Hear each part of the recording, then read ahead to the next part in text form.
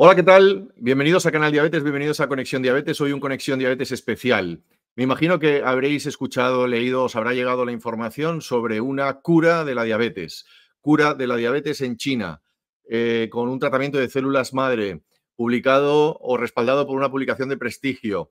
Y enseguida se nos ha llenado la boca de grandes titulares. Hoy lo vamos a poner en contexto.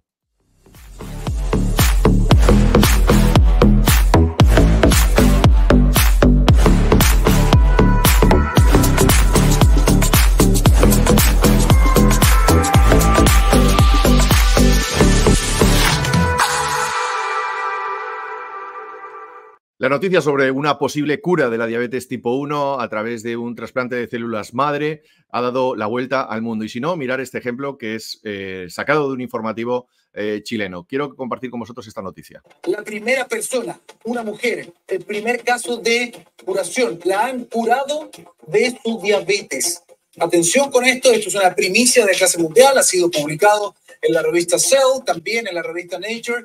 ¿Por qué? Porque esta es una enfermedad que sufre más de 500 millones de personas en todo el mundo. Chile tiene una prevalencia superior al 12% de su población adulta, es decir, más de 2 millones de personas en Chile sufren de diabetes, tienen que inyectarse permanentemente. ¿Qué es lo que ha cambiado? Bueno, que en este caso estamos hablando de un tratamiento con células madres que han sido reprogramadas y que han logrado que una persona no tenga que inyectarse nunca más, no tenga que inyectarse insulina. Es un cambio de vida. Usted va a empezar a escuchar esta noticia durante la próxima semana probablemente porque va a dar mucho que hablar. Y para Chile es una noticia importante. Ahora, tenemos que hacer una aclaración. Hay dos tipos de diabetes.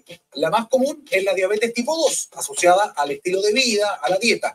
En este caso, este tratamiento con células madre que ha funcionado durante un año en esta paciente, en este ensayo clínico, tiene que ver con la diabetes tipo 1, que es de origen genético. Aún así, es una gran noticia. ¿Cómo funciona este tratamiento experimental que se está probando con pocas personas, pero con grandes resultados? Nos lo explica un diabético. El tratamiento que ofrece este estudio consiste en trasplantar células madres. Las células madres tienen la capacidad de diferenciarse a distintos tipos de células y en particular estas fueron adaptadas para que se adaptaran a las células beta del páncreas, que son las encargadas de producir insulina. Como los pacientes con diabetes tipo 1 no tienen capacidad de generar insulina, si yo trasplanto células que van a generar esta insulina, no van, a necesitar el tratamiento clásico que es la administración de insulina exógena. Por eso los pacientes, entre comillas, se describe que se curan de la diabetes porque finalmente su cuerpo es capaz de producir nuevamente insulina por un periodo de tiempo. Bueno, pues esto es lo que eh, se ha distribuido, se ha difundido eh, en las últimas horas, en los últimos días, porque la noticia es de este pasado fin de semana. Como habéis visto, el formato es un formato muy serio, en un programa de televisión. Esto es un, ejemplo de, los, de, los, de, las decenas de ejemplos de comunicación que se han hecho en las últimas horas por escrito, de forma eh, audiovisual, como estáis viendo, pero con la opinión de un diabetólogo, con un periodista que teóricamente está dándole credibilidad. Bien, nosotros lo que queremos hacer es poner en contexto eh, esta cuestión y daros realmente la versión eh, fidedigna, real, más aproximada a la verdad. Y para eso contamos con la inestimable ayuda de nuestro eh, médico de cabecera, en este caso en Canal Diabetes, de nuestro querido Jesús Blanco, al que ya saludo. Jesús, muy buenos días, ¿cómo estás? Buenos días, Ángel. Pues como siempre, es un placer estar con, con, vosotros y lógicamente agradecido por tu amable presentación, que no por repetitiva deja de ser extremadamente amable, quizás algo fuera de lo que me merezco, pero bueno, encantado de, compartiros otro ratito más. Yo no sé si en otros medios tienen la suerte, pero en Canal Diabetes sí tenemos la suerte de contar contigo, de contar con alguien que sabe mucho de diabetes, que sabe mucho de la investigación y diabetes y que sabe muchísimo de, este, de estas terapias, ¿no? De, las de células madre, trasplante de células madre, que es de lo que habla. Vamos a ver. Em, empiezo por el principio. Hablamos de curar la diabetes se puede decir, como se ha dicho en este informativo, que es un ejemplo, insisto, ¿eh? no lo digo solamente por el caso concreto, porque esta información, insisto, se ha distribuido a lo largo de toda esta semana. ¿Podemos hablar claramente de que ya se puede curar la diabetes? Pues la verdad es que sí, podemos decir que se puede curar la diabetes. El problema fundamental es que cada vez que curamos la diabetes es la primera vez que la curamos, porque de hecho otras personas curadas tienen nombre y apellidos. Si alguien pone Brian Shelton en Google y pone Brian Shelton diabetes, ya fue el primero que se curó de la diabetes. Esta paciente, que de hecho es una paciente, no estamos hablando de varios pacientes, hablamos de una paciente que se ha publicado en la revista Cell, no en Nature, como dice el, el telediario chileno, solo en una revista, no, no en dos.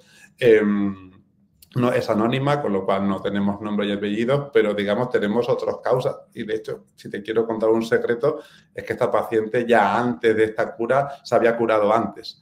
¿Sabes por qué? No, ¿por qué?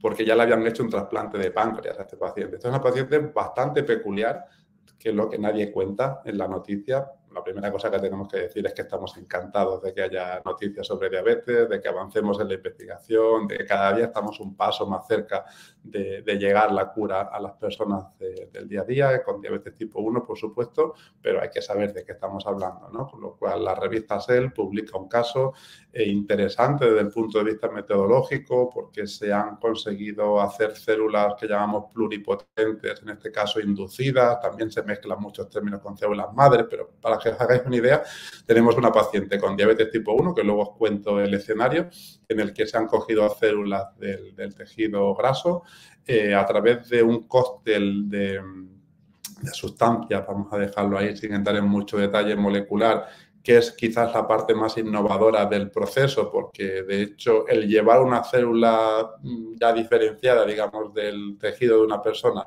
bien sea un, lo que llamamos a veces fibroblastos, tejidos adiposos, cualquier célula del organismo, a una célula pluripotente, es como revertirla pasos atrás, digamos que vamos retrocediendo en la biología y en la naturaleza. Ya fue premio Nobel en el 2012. El profesor Yamanaka ya ganó el premio Nobel, pero tenía una metodología en la que usaba unos virus, que modificaba el ADN para que esa célula, digamos, se reconvertiese. Por decirlo de alguna manera, tuneaba la célula para convertirla en, en una célula pluripotente más que en una célula madre. ¿no? En este eh, estudio lo que nos enseña es en su protocolo algo diferente, usado, digamos, quizás con mejor capacidad de control sobre, sobre el proceso y posiblemente tiene más que ver esto con la publicación en una revista como Cell que no tanto el primer caso de curación en el mundo, que no es el primer caso, ni porque es el primer caso mundial, ni porque ella misma sea la primera vez que se cura, porque esta paciente es una paciente con un debut de diabetes en la infancia, nada, digamos, sorprendente,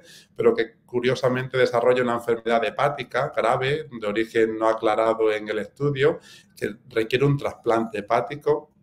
A posteriori se le hace un trasplante de páncreas Claro, cuando alguien hace un trasplante de páncreas, ya le cura la diabetes. Que decir, de hecho, estuvo dos años curada de la diabetes por el trasplante de páncreas. Eso no fue motivo de salida en ningún telediario ni en todos los medios de comunicación que se han hecho a día de hoy ecos de, de la noticia ese trasplante de páncreas, como pasa por desgracia en demasiadas ocasiones cuando se hace aislado, no funciona mejor cuando lo hacemos con un riñón, pero aislado, pues tiene un par de años de vida útil, luego hay problemas de trombosis, la paciente vuelve a requerir tratamiento con, con insulina y luego la incluyen en este estudio, pero la paciente tiene un trasplante hepático, la paciente recibe tratamientos inmunosupresores debidos a este trasplante hepático. Esto es un contexto extremadamente importante de aclarar porque esto no es un paciente que viene a la consulta con una diabetes, digamos, corriente, por decirlo de alguna manera, como el común de los pacientes con una buena calidad de vida, tiene problemas con hipoglucemia, recibe tratamientos con inmunosupresores, es muy joven y tiene un pronóstico, digamos, complicado, con lo cual nos podemos atrever a hacer cosas especiales.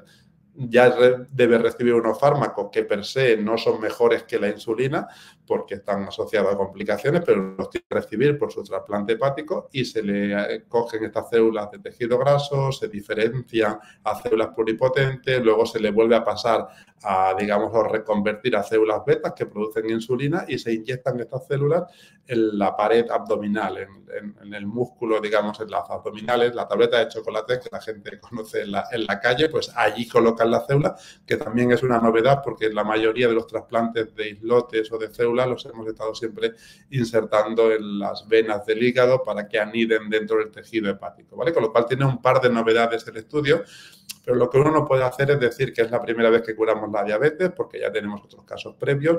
Ni siquiera ella es la primera vez que se cura la diabetes. Ya estuvo dos años curada con el trasplante hepático. Por ahora lleva uno con este trasplante de células madre. Lleva menos con el trasplante de células madres que con el trasplante hepático. Pero lo que ha salido a la noticia es el artículo de esto último y no lo, lo primero.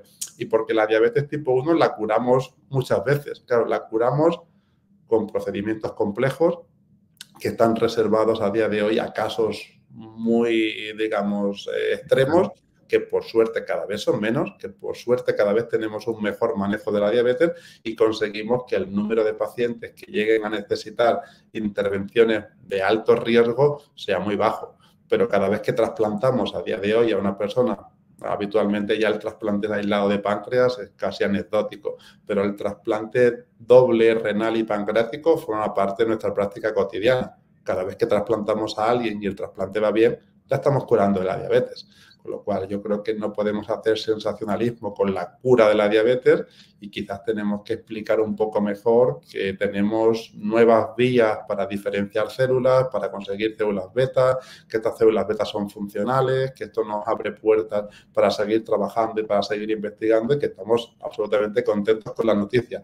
Pero la manera de contarla, digamos que puede mejorar por hacer un pequeñito resumen ¿eh? y muy arriesgado por mi parte de todo lo que acabas de decir, la idea, el contexto actual sería, es una gran noticia porque la investigación sigue eh, presentando magníficos escenarios hacia esa futura cura de la diabetes, es decir, cada vez estamos más cerca de esa cura de la diabetes, pero hoy en día curar la diabetes tiene unas contraprestaciones muy grandes y sobre todo no se puede mantener en el tiempo, ¿no? Es decir, todas estas acciones de las que hablabas, de trasplantes y tal, que curan efectivamente, luego tienen unas contrapartidas que no las hacen eh, que permanezca en el tiempo. Por lo tanto, no podemos hablar con esa alegría de cura de la diabetes, ¿correcto? Claro, la, permanencia del tiempo es variable. De hecho, tenemos personas trasplantadas con muy larga evolución y con buen pronóstico. Quiere decir, no, no, no podemos decir que sea vitalicio, porque evidentemente todos los trasplantes tienen el riesgo de, de, fracasar en algún momento por mucho tiempo que haya pasado. Está la cuestión.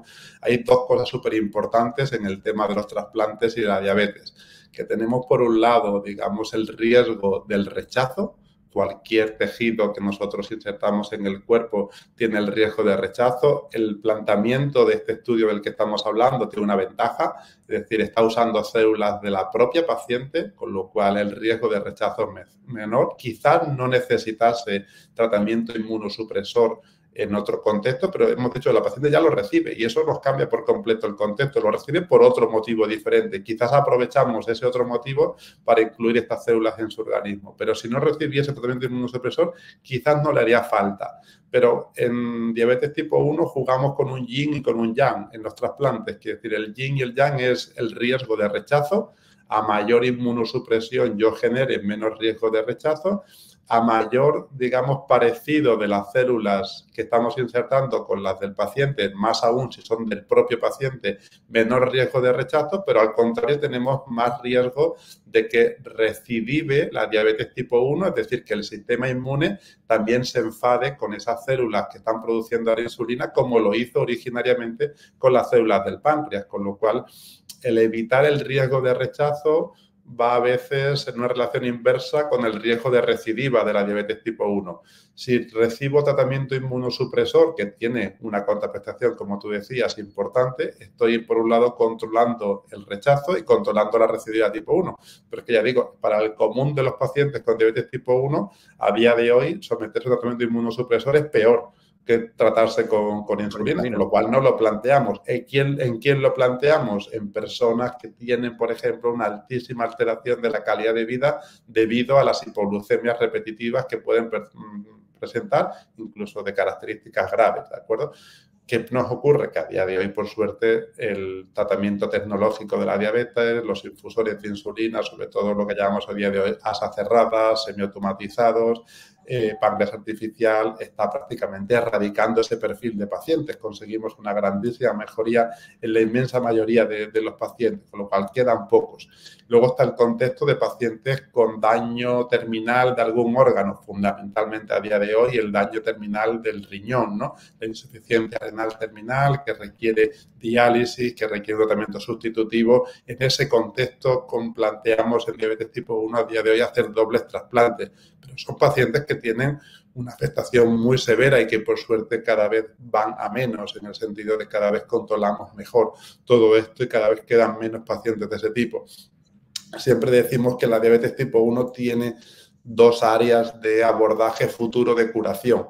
El común de los pacientes que están en el centro de lo que llamaríamos la campana de Gauss, de la mayoría de la población a día de hoy no vislumbraríamos una cura a corto o medio plazo. Tenemos luego el extremo de pacientes muy complicados, muy evolucionados, muy peculiares, que son la excepción que confirma la regla, en el que nos podemos plantear terapias celulares. Este abordaje es uno de ellos, pero hay otros. De hecho, la empresa americana Vertex, de hecho, esta persona que ya hablábamos antes, Brian Shelton, era la primera persona que, mm, digamos, se curó de la diabetes con el abordaje de, la, de esta empresa americana, de, de Vertex, que está haciendo ensayos clínicos en esta, en esta línea. Y luego nos queda otro abordaje que es el llegar muy pronto a la diabetes tipo 1, lo hemos hablado en otros capítulos aquí en, en, Canal Diabetes, intentar acercarnos, anticiparnos al comienzo de la diabetes y poder modificar el sistema inmune para que esa convivencia sea mejor. Por tanto, uno debe de pensar en esos extremos. En el centro tenemos al 90 y mucho por ciento de las personas con diabetes tipo 1 que no tienen que estar pensando que mañana vamos a poder ofrecerles en consultas una cura de la diabetes.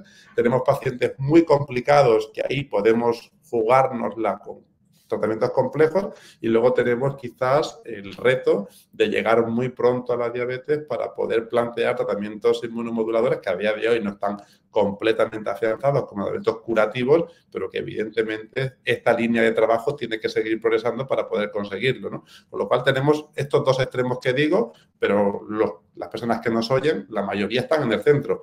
Y no deberíamos de hablar, como habla la noticia, de que en Chile hay dos millones de personas con diabetes, porque aparte cumple otros de los requisitos para no creerte una noticia, que mezclen la tipo 1 con la tipo 2 y que luego digan que la tipo 1 es genética, es decir, que las noticias se las trae en cuanto a, fallos habituales en, contexto de información de, de diabetes. Pero la idea fundamental es cada vez sabemos más cosas, cada vez estamos más cerca de plantear tratamientos que pudiesen llegar a ser curativos, pero hay que contextualizarlo. Esos tratamientos curativos van a comenzar cuando podamos tenerlos en pacientes con características muy peculiares, con unas necesidades muy importantes y que se escapan de lo que por suerte a día de hoy es la práctica cotidiana, el uso de tratamientos cada vez más avanzados, más evolucionados y que funcionan en la inmensa mayoría de, nuestros pacientes. Por tanto, eh, prudencia, nos encantaría a Jesús y a mí poderos dar una noticia en otro sentido, eh, en el que estáis, eh, por lo menos deseando, o que estamos todos deseando, ¿no? esa cura definitiva, pero hay que ser muy prudentes sin olvidarse de ser muy optimistas, porque como muy bien acaba de explicar Jesús, hay muchas líneas de investigación, algunas aquí en España, que están trabajando con ese objetivo. O sea, no penséis que la ciencia se ha olvidado del mundo de la diabetes, ni muchísimo menos. Yo creo que es el momento en el que más líneas de investigación, por lo menos es la sensación que yo tengo, existen en el mundo con ese objetivo de curar la, diabetes, ¿no? Con todos esos escenarios que ha planteado Jesús. Em, Jesús, no sé si quieres añadir alguna cosa más. Eh, iba a hacer yo el comentario del periodista, pero porque habla de 500 millones de personas en todo el mundo. No, 500 millones de personas no tienen diabetes tipo 1 en el mundo. 500 millones de personas tienen diabetes, la mayoría tipo 2 en el mundo. Hablamos del 90-95%. Luego hay otras cifras más complicadas de, aterrizar ¿no?